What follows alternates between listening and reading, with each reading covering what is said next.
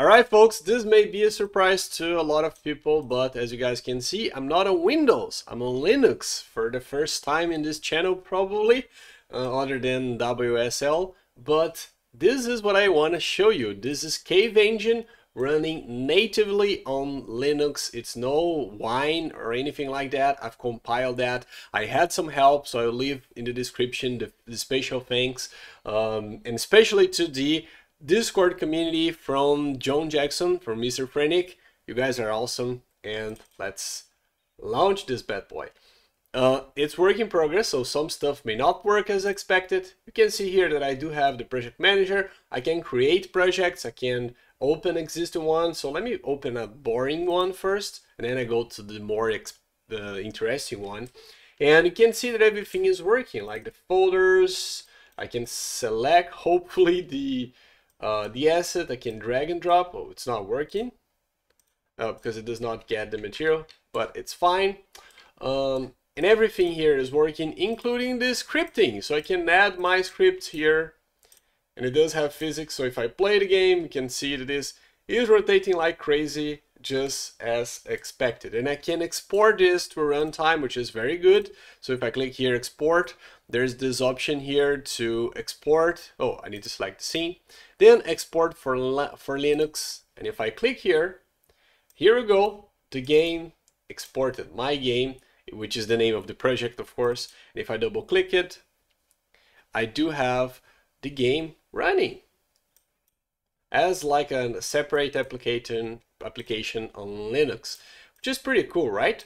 Let me close this and open a more interesting file.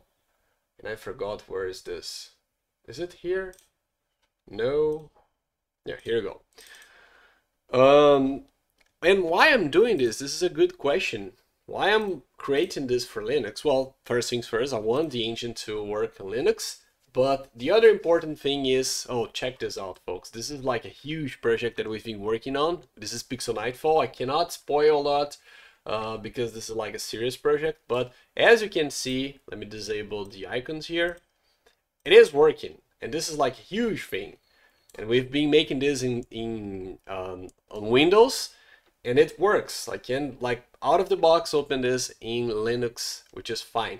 So the very first thing is we want the engine to be able to run on Windows or Linux, sorry. So if you are using Linux, it will be good for you. And we want to be able to export the game for Linux as well. Uh, I'm not entirely sure yet how this will work, but it's work in progress. And as you can see, it's working very well at the moment. Uh, let me play the game for a second. Some stuff I believe does not work. Oh, it's working. Oh, nice. Oh, see the font here, for some very weird reason it's not working, so I need to check this. But, anyways, everything is working. I cannot play the game much, so it will spoil everything. Oh, it crashed. Nice. Work in progress. but the, the main reason why we want to do this is also because we also want to export the game for web using Emscripten.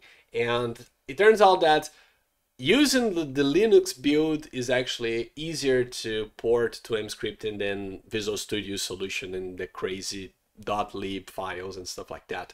So I'm having a help of a Discord member. I don't know how to pronounce his name. Is Q? Oh my god, it's even hard to say. Let me try try to type here real quick. Where's the terminal?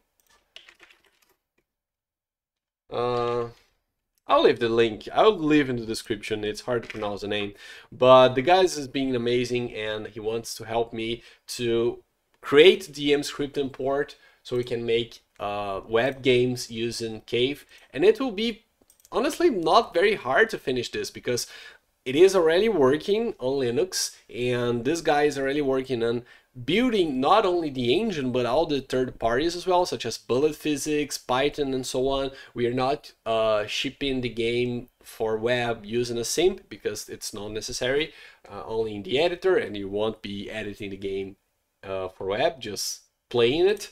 Um, and then like this is the main thing and the other main thing is like the OpenGL but Cave Engine already uses OpenGL uh, it is using OpenGL 4.3 just because of the debugging options that they have but everything in Cave is 3.3 and I made that on purpose to be able to export web easily easily because uh, web uses a WebGL of course so it will be hopefully very easy to export this and maybe we will be able to make web games using Cave and I'm very excited for that especially for Ludum Dare um, Ludum Dare is coming it's less than I think a month and a half for now and I really want to participate using Cave. So this is another good reason I want to make a web game so you can play on your browser without having to download the game. So that's gonna be pretty cool and this is one of the reasons as well. Uh, so yeah folks, this is the first day ever that the Cave engine works fine like that on Linux. So I'm excited I wanted to show off